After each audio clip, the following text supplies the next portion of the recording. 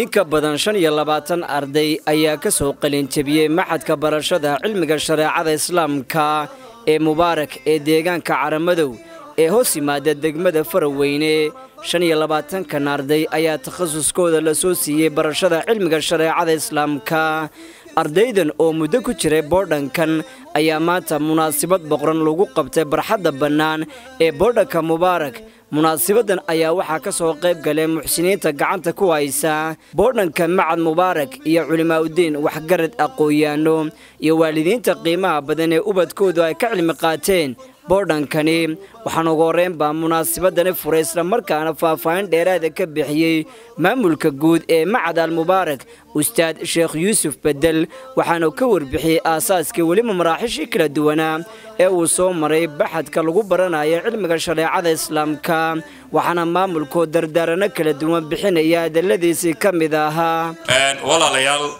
si aynu la wada soconno maxadkan waxaynu aasaasnay labadii kun iyo labayo tobankii bishii layo tobnaad. Muddada intaa u furnaa dufcadan maanta aynu u fadhinaa waa dufcaddii saddexaad. Tiradoodu waa saddex iyo labaatan arday. Inta maanta maxadka ka baxaysa ay ka takharujaysaa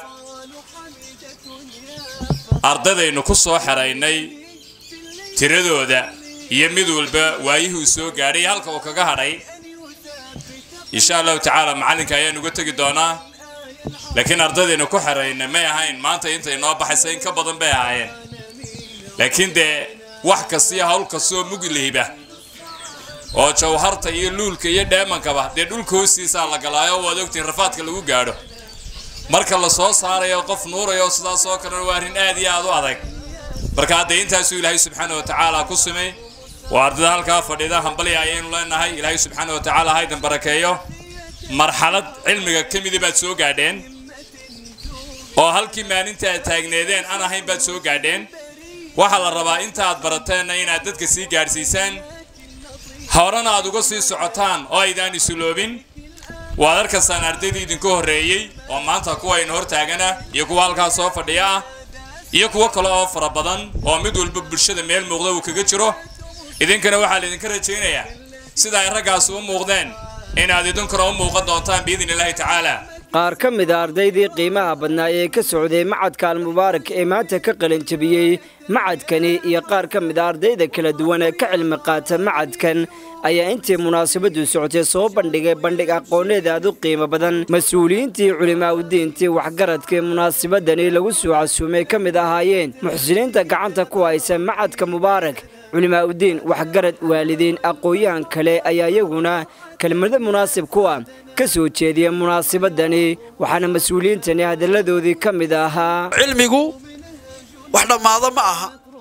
Maanta in kooban baad haysaa. Intiisii badnaydna way kuu dhimantay. Intiisii koobnayd baad aragtaa siday kuu gashay. Quruxda iyo wanaagga iyo qiimaha aad leedahay ummaddaasoo dhammi maanta adigay kuu yimaadeen dadkaasi cidday maanta u soo kici timina ninbe meeshiisii uga yimid. Waa adiga oo cilmigii in kooban ka helay. Mar kastoo cilmigaagu uu kordho oo halkaa aad sii dhaaftana qiimaha iyo qadarkaad ummadda ku yeelanaysaa way sii weynaanaysaa oo way sii badanaysaa. Ilaahay agtiisana sharaftaad ku leedahay aad iyo aad mid u sarraysa ayay noqonaysaa. Waxaynu u baahannahay markaynu ubadka keenno inaynaan ka hadhin. Ubadkii waynu keennay waa qurux badan yihiin ubadkii waayahee keenta oo boodhan baad soo gelisay. Halkanaad keentay. Ubadkii waxa ay ku nool yihiin. Iyo xaaladooda. Iyo halka ay marayaan.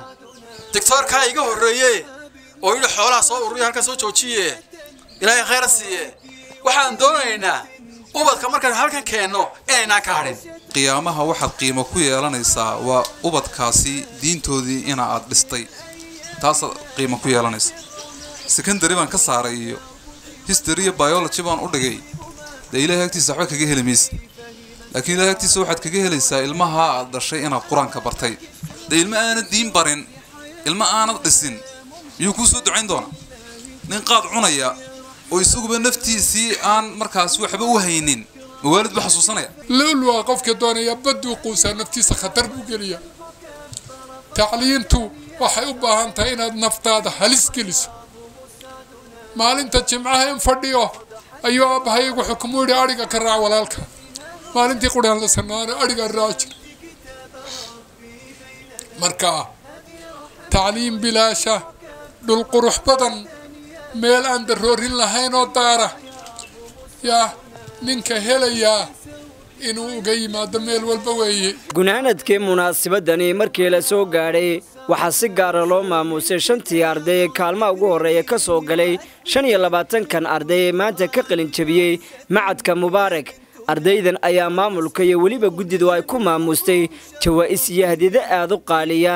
Sidoo kale dhammaan shan iyo labaatankii arday ee u soo dhabar adeegay barashada cilmiga shareecada islaamka ayaa dhammaantood la siiyey shahaado caddaynaysa inay dhammaysteen aasaasiyaadka cilmiga shareecada islaamka.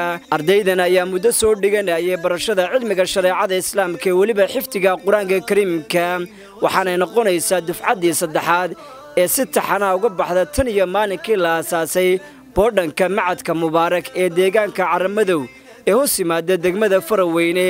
Wiibsadhiyaan warbaahinta nolosha islaamka hargeysa